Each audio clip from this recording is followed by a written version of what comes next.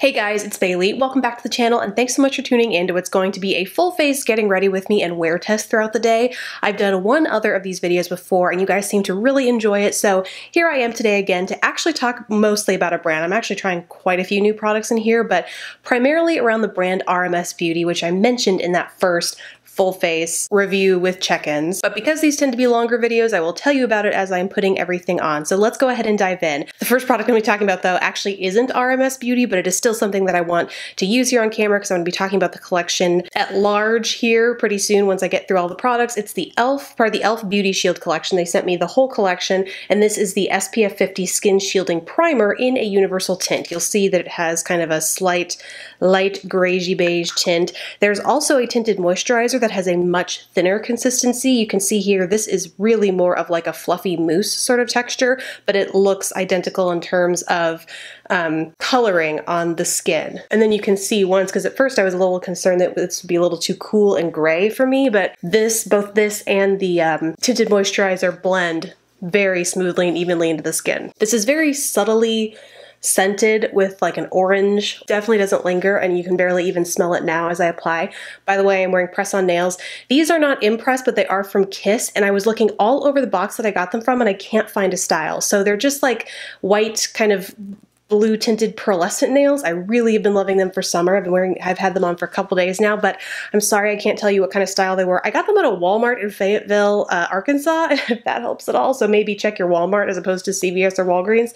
You might be able to find them there. Alrighty, now I'm gonna go in with my foundation, which is actually a concealer from RMS Beauty. Part of the reason why I wanted, I put all these products to the test is because I was stand, I actually got the chance to stand at a physical counter when I, on a recent beach trip where I went to kind of this boutique place. It's called Patchouli. If you're ever in the seaside or Rosemary Beach area. It's a pretty short drive there and it's just a cute little boutique and they actually have an RMS Beauty display. That is not to say I'm sure these displays are everywhere and I'm sure you can probably find out where they are on like an RMS Beauty website or something like that. There is no need to go to this specific place in Florida to get this. It just happened to be where I found it. And so given the opportunity to understand which products are actually available in the brand and how they work together uh, compelled me to buy quite a few products. So as I was standing at the display, the woman explaining how these products work together told me that this Uncover Concealer or Uncover Up Concealer, mine is in the shade 22, actually functions as a foundation if you take this oil, which is just called beauty oil, put a drop or two in here and you use a brush to apply it all over your face. It kind of thins out. And I was very intrigued because as someone with combo skin, oil on with my foundation sounds like the worst thing I could do. It sounds like a day of nightmare makeup, right? but I wanted to give it a shot. So here I am just going to put um, a little bit, let's do two drops in there. She also said you could use this, I mean, obviously as any, any beauty oil you might, like before you go to bed, use it to prime your face before you put on your foundation if it's not this lots of uses for this, but today I'm going to use it with the concealer. And I think the next step would be to use a different beauty oil because there are a lot more affordable beauty oils out there. I think this one was 75. I'll go back and check the packaging. I'll have pricing for all this stuff annotated here somewhere, but it was not cheap. And I can think of a couple of other beauty oils that I really, really like, namely like the Cover FX Custom Cover Drops. And so might be an opportunity to use that with this instead. So I think that'll be the next step in trying all this out if, in fact, I like this period.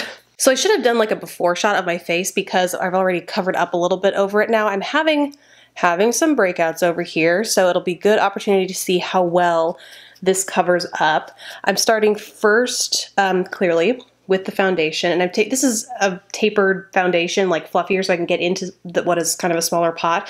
From BH Cosmetics, it's from a brush set that I got a while back. So any similar brush will do. And so I'm just going and patting that in. It's a really great shade match. And I'm pretty impressed with how um, not oily it is. Like it, it really is sinking very nicely into the skin. You know, it's not sitting on top like a greasy mess and it's not separating um, the cream the cream foundation, right? It's not like making that kind of do weird piecey things across my skin. It's all blending it in very nice and beautifully. But here's what I don't know. So now when I go into conceal, I'm still going to have, you can see here what is a pretty sheeny uh, overlay on top of this. The oil is still very much there. And so I'm wondering how that will act in my under eye area when I go to layer it up and kind of spot conceal and also put it in my under eye area. So let's go ahead and do that. Hold on, I need to hit a coffee. Oh.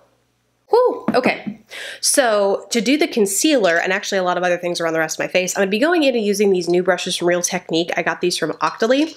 Um, let me go back to the packaging and see what they're called. These are the new Multi-Tech collection. I am not sure if they're a limited edition, but it includes, says it's for detailed application of precision blending, shadow, highlighter, liner, more. There's one universal cut, four sizes, limitless ways to play. So it also comes with this little um, holder as well, which is kind of nice. And then there is on the back of here, you can obviously go to their channel to watch how they use them to apply various products to your face, but they also have a rough guide here as well. So the Point S, which is this largest one, is for all of our shadow, concealer, contour lines, highlighter, and more. So let's go ahead and use that to conceal. I will say though, as I've been talking here, I haven't noticed um, the shine from the oil go down. Like I do feel like I'm pretty healthy, dewy, glowy, borderline, excessively shiny.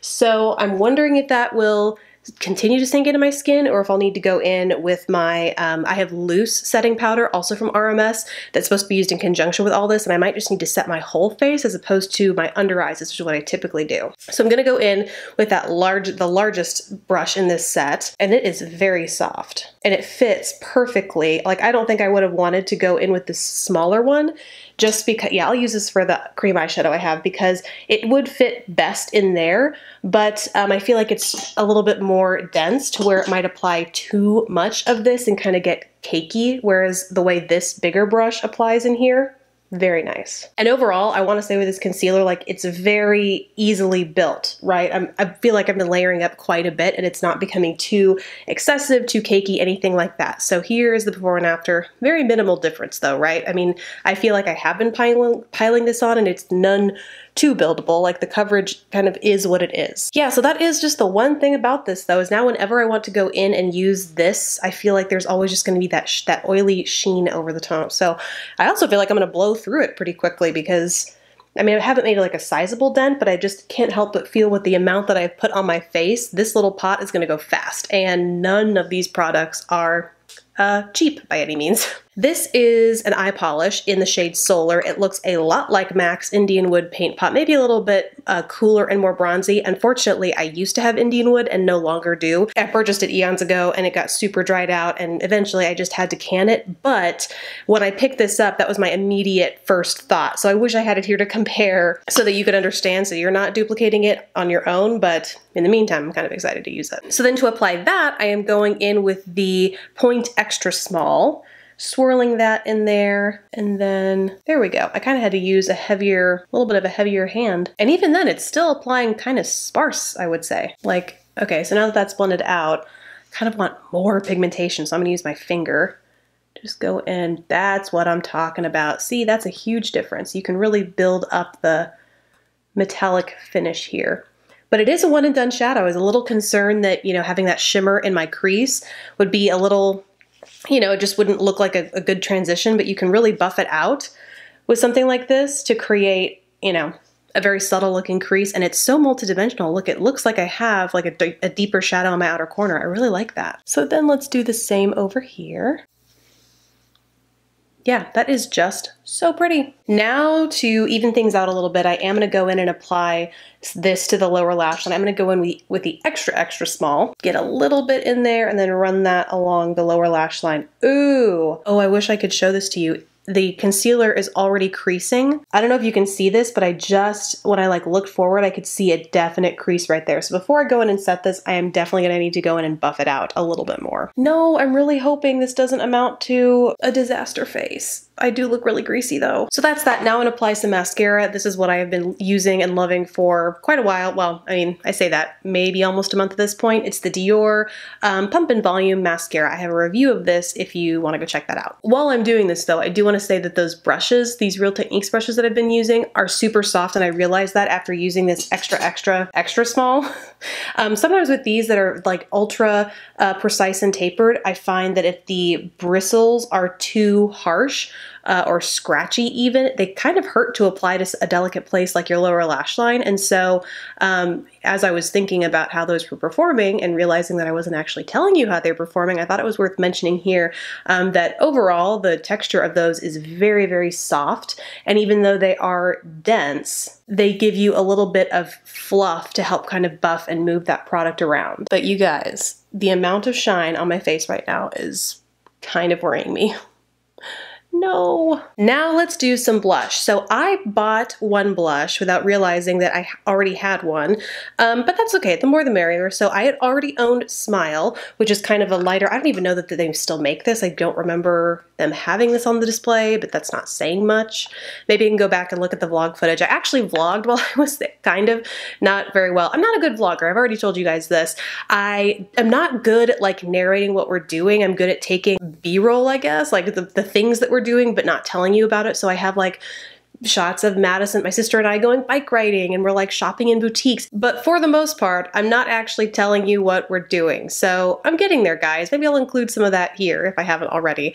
Um, but yeah, maybe I can go back and see if this was something on the display. As I look at the texture now though, it's a little bit dry. Um, there's just some random texture in there. So I am actually gonna go and use the newer formula, like the one that I just bought, just in case um, just to make sure I get the best quality out of this. So this is the Lip to Cheek in the shade Modest, which I really liked because it's, I mean, obviously it's like a pinky, uh, a deeper pinky peach, and it has like some subtle brown undertones, which I feel like is going to be really flattering to the lips. It's kind of like a your lips but better color on me. And I just love kind of a good, um, because it has that brown tone in there, it's almost going to double as a contour as well as a blush. So that's what I did. Then to apply that, I'm going to use a duo fiber. Actually, I'll do uh, different different techniques on each side. On one side I'll use a finger and on the other side I'll use a brush just to see, just to see how it goes. So I'm first just swirling this Duo Fiber brush. This by the way is a Sigma F15.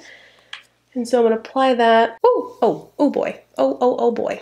That was a a lot of product. The nice thing though about this oil, for as shiny as I feel like it's making my face, I'm glad I didn't powder over it because I feel like it's making it easier to apply the blush in over top. And hopefully the same will be said for the highlighter. So now I'm gonna go in with my finger on the other side. Oh, good grief, this is very, very pigmented. How did I not learn my lesson? Yeah, it's still working good though. I mean, like minimally moving around that base. So that's nice. I like that. And I really like the shade. So now I have two different highlighters Again, this is one of the first products I ever purchased from RMS. It's the Living Luminizer because I feel like everyone and their brother was talking about how beautiful it was, how perfect it was as a highlighter. It's definitely more of a wet sheen kind of highlighter and has a frosty, um, cool, icy white sort of glow, obviously. So having used that, I'm actually going to use their newer highlighter, which they say is basically the same, but they call it Master Mixer, which to me sounds like it has a different function, but when I was talking to them at the counter for it, they said, yeah, it's basically the same as Living Luminizer. It just has more of a golden undertone. So that's what I'm going to use today because I also feel like it complements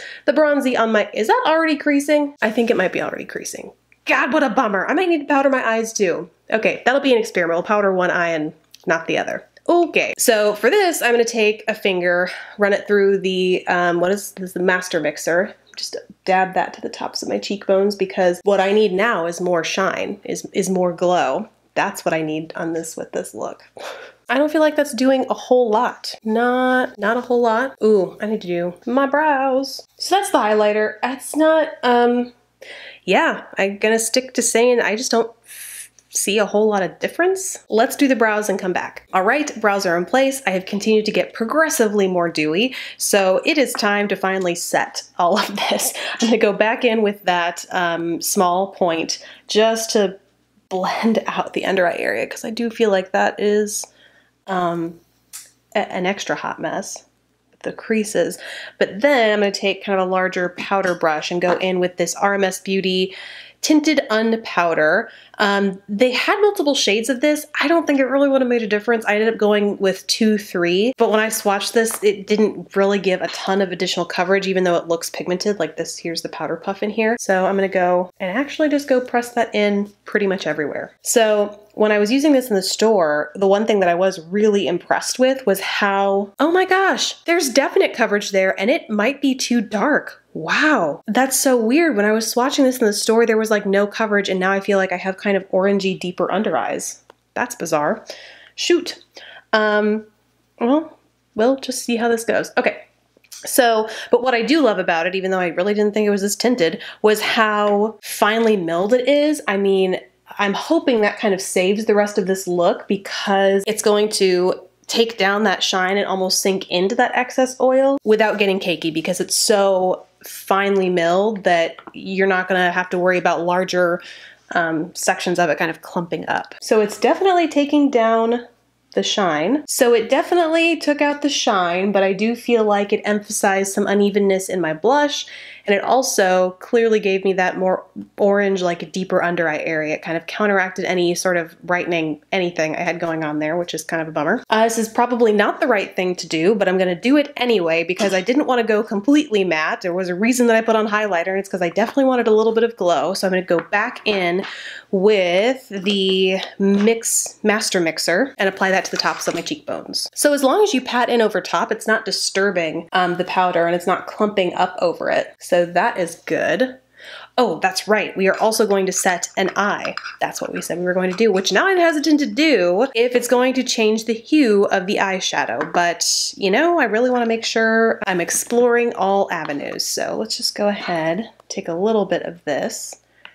I'm going to press that over this eye because this is the one that I feel like was creasing before. What a difference that makes. Oh my gosh. Okay, we need to put a little bit more back on. Let's...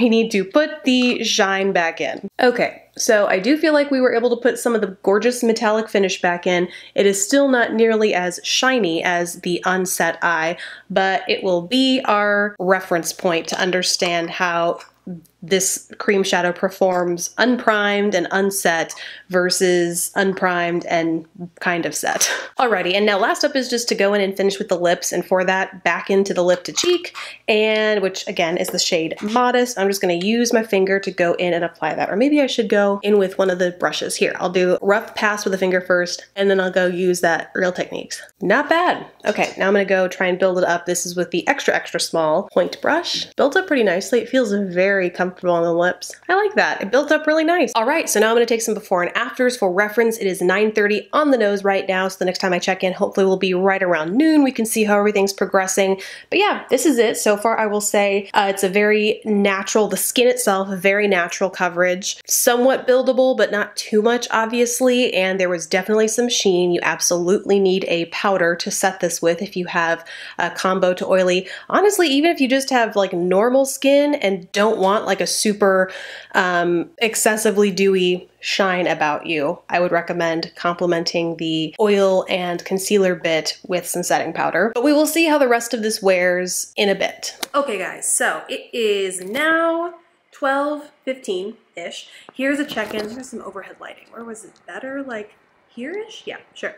So the eyeshadow is definitely creasing, right? Like and I don't think it's any better on the eye that I set it with, maybe slightly better, and it's certainly not transfer proof. I was rubbing my eyes, not even majorly, but just like kind of pressing my fingers because, hey, allergy eyes. And as I did, like there was all this transfer on my nail and finger. Um, so yeah, it's I don't anticipate this being really long lasting unfortunately. The rest of the face doesn't look so bad. Um, you can definitely see the shine from the highlighter here, but I wouldn't say I'm getting exceptionally greasy anywhere else around my face, including forehead, like T-zone area, looking good there. Let's maybe, it's not a sunny day out, I wish it, see, now I get this weird blue hue. Ugh. But but under the natural light, you can still see I'm a little less shiny. I, you know, a little little bit here. I am a little scared to touch my face, though. I will say that because of the kind of, you know, just like it's still kind of tacky you know, like around my jaw and stuff, even where I set it, it has a little bit of a tacky texture, so I'm a little nervous to touch it. But for the most part, still looking kind of okay, right? I would say so. Yeah, I will see you in another couple hours. Yikes. Kidding. I meant to also talk about the lips. Clearly, they are gone. I have done very minor eating and drinking this morning, like coffee, um, very light snacking, so not a whole lot of wear and tear there, but it is still totally gone. But I still have the pigment from it on my cheeks, so so far it's a decently wearing cheek product, but definitely not a long wearing lip product. Now that's it. See you later. I don't know where the time went. This is now the second and I guess final check-in because it is 8 p.m. here, guys. I don't know how the rest of the day got away from me, but in between the time that I did the one and only check-in in this video, and now I have eaten lunch, did some work and just overall running around the house. I took Dallas for what was a 45 minute walk. There was definitely some glistening and dewiness, especially around my mouth area. So let's assess the damage. I have a close-up shot here that I took actually before I started filming this. I And so the difference between that and now is I did go ahead and reapply the lip to cheek only on my lips though, not on my cheeks. I have not touched up any of the rest of my face makeup, so let's talk about it. The eyes are a mess. Doesn't matter if I wore this thing alone or if I wore it, you know, if I set it with that powder like I did, both eyes are just creasy, faded, nasty messes which is such a bummer. One, because this is a very expensive, what, what is it called again? It is this eye polish, again in the shade Solar. Such a bummer because it's such a gorgeous shade and I loved how faceted it was or how dimensional it was, even though it was just one product. But boy, oh boy, is there some creasing happening and major fading happening. And what's unfortunate about it, I'm glad I tested setting it with a powder. Obviously, when you use something like the setting powder, it, it drastically changed the finish. You lose a lot of that high shine metallic sort of texture to it. But what's unfortunate about it is I don't know that using a shout, uh, uh, shouter, shadow to set this, like if you applied a base, then you applied this eye polish, and then you even set it with an, an, additional shadow and you more so just use this as a colored base. Just by doing this little test today, I'm not convinced that you wouldn't still get some nasty, creasy wear out of this. So can't recommend the eye polish at all. But I am happy to say that that was probably the worst part of this look because I'm not unhappy with the way the rest of the face turned out. I'm shocked to say that for as short as the lifespan was for the lip to cheek on my lips, it's still very much there on my cheeks and for as shiny and dewy as the foundation, the base that I was wearing here was, I thought for sure it would just suck it, like suck that cheek color in, and it didn't. It was preserved really, really well without breaking apart, getting patchy, fading, anything like that throughout the day. So really pleased with this. And in terms of comfort on the lips, there really isn't, um, yeah, not really a scent here, so you don't have to, if you're sensitive to that, you don't need to worry about that. It's not a long wearing lip product, but it is pretty easy to apply because it comes in this potted format. So I actually would recommend this if it's something that sounds like it's right up your alley in terms of like maximizing usage out of one product. It's gonna be great for travel because it's so multi purpose. Uh, but yeah, would recommend if you're interested in it. I probably should have done, I'm a little out of order here. I probably should have done my base first, right? Um, so the foundation, I was so, you could probably tell, was very skeptical given how shiny it was. If I had to do over again, I think I would have only used one drop of this oil because a little goes such a long way.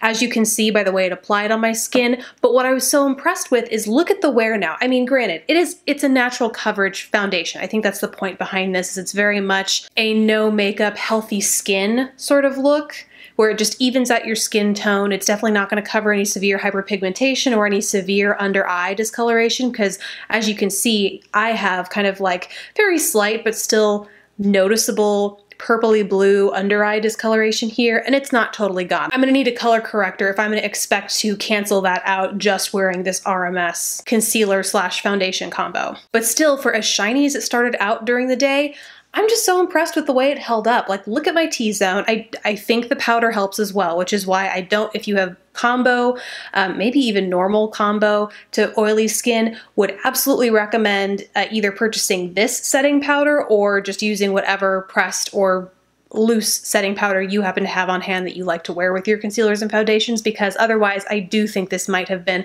a little bit more of a hot mess. I do think it is a cool concept where you just take this small pot, this beauty oil that's an incredible multitasker because you can use it at night, you can use it, I mean, it's, it's just a general skincare product, but then you use it to thin out your concealer product, so it really helps you get the extra mileage out of your beauty products. So I, I really like the idea of these two. But something it makes me want to do is see if I can do it with any other products because again, kind of the, the theme with this whole story is how expensive these are. So I do want to try a different sort of beauty oil and I do want to see if you, granted, you do get a lot of product here. I mean, compared to, what did I compare it to before? The Cover FX Custom Cover Drops, this is significantly more product in here. I think, anyway. Okay, don't quote me on that because I don't have Custom Cover Drops sitting right here, but I would venture to guess.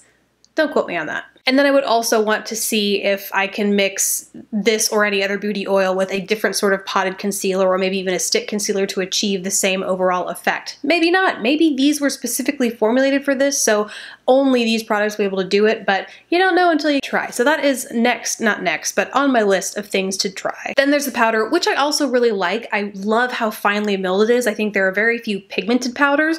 Remember that one time at the beginning of the video where I was like, I don't even know why they have shades on here because it's so not pigmented.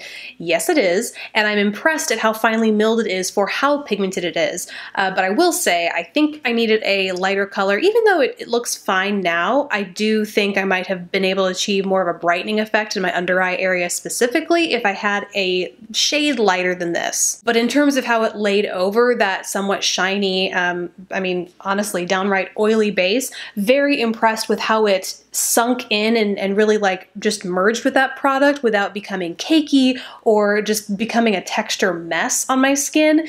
This is a really great complement to that. So again, like I said, I would recommend having setting powder, but to that end, maybe one that's like the most finely milled in your collection just to make sure it plays nicely with that technique. Plus it does offer up a little bit of extra coverage because it has that pigmentation. So if you like the idea of this natural makeup look but just want another option to make sure that coverage is slightly more buildable, this would be a good powder to do that with. And now let's talk about the Mix Master. As far as natural highlights go, this is fine. Obviously, it didn't create any sort of out of control shine on the rest of my face, so even though it is a cream product, and overall, I do want to revisit this because I, I know I mentioned it at my noon check-in, um, my skin, you know, in parts of it, it never feels like it dries down, so I'm a little surprised the whole face held up as well as it did, but for being as sticky, dewy might be a better word, as dewy as the rest of my face, including this highlighter remained, it didn't get out of control on my face. It still looks like a very healthy, dewy sort of sheen everywhere. So if that is more your speed, if you are not a glow to the gods kind of highlight person, you want something that is more like, I just got done with a quick run and I had this natural flush and oh yes, is that sweat? No, I'm just glistening from my soul. That's what this will do for you. And so not a bad look. Not a bad look and it lasts well throughout the day, even on combo skin. Um, let's see. Oh, we also have the e.l.f. Beauty Shield Primer. I am all sorts of out of order today. So I think I need to talk more about this in a separate video about this new skincare collection from e.l.f. because I want to compare it to the tinted moisturizer that comes in here. Overall, uh, because they're so similar, like in terms of function and pigmentation, I just want to compare those two because they are so similar. But I will say after having tried this under a couple couple of different, oh, hey bud, What's up? After having tried this under a couple of different foundations, including powder, liquid, and now this weird, you know, oil cream hybrid, are you comfortable back there? Oh, good. After having tried it under multiple foundations, I, I, it doesn't really, I don't find, affect the lasting power of my foundation. But stay tuned for more information in that later video. And last, I think the only other thing we have to cover here is the Real Techniques brushes, which are nice. I was impressed with how um, firm they were. Like they're firm enough to lay a good amount and build up a good amount of product in the areas you need them. They all have those tapered tips, which makes them good for getting into harder to reach places like your inner corner, around your nose. If you're talking about, you know, a small smaller brush, it's good to do more detail work around the eyes or precision lip application or even precise touch-ups around the face. That is something that I think within the context of the Real Tex Techniques collection they were missing. There was the, um, oh, in fact, this brush that uh, I had previously and I think they had been using, you know, as your all over shadow or your crease or your concealer. It's just like a smaller buffing brush, but this really breaks out the many functions of this and then expands it even more with those smaller little brushes to cover off and really make sure you can do all those things in the Real Techniques collection. The other thing I want to note about the hairs that I found different from a lot, if not all of the other brushes from the other um, collections that they have, is the softness and the texture of the bristles. In general, that's not to say that the Real Techniques bristles haven't always been very soft, really comfortable to use on the skin, but these just feel a little bit different, and I'm not sure if it's the cut here on the end. This almost visually looks more tapered, and I don't mean like the overall shape of the brush. I mean the actual bristles themselves, themselves like feel or look um, tapered. There's just something about them. I may be totally off by that, but there's something about the how dense this is and how stiff this is for its density versus how dense this is, and, and it just gives you a little bit more flexibility here, which I find makes a little bit more effective at helping build and yet really buff product in wherever you might need it. So overall, I really recommend them if you find that among your brush collection you're missing that sort of precision aspect and you like the idea of this tapered, um, you know, the tapered format with the bristle texture I was talking about, would recommend you checking these out because they look and feel very consistent with the rest of the Real Techniques quality, which, you know, I've had this guy now for how, probably almost since I started YouTube, since they launched their Real Techniques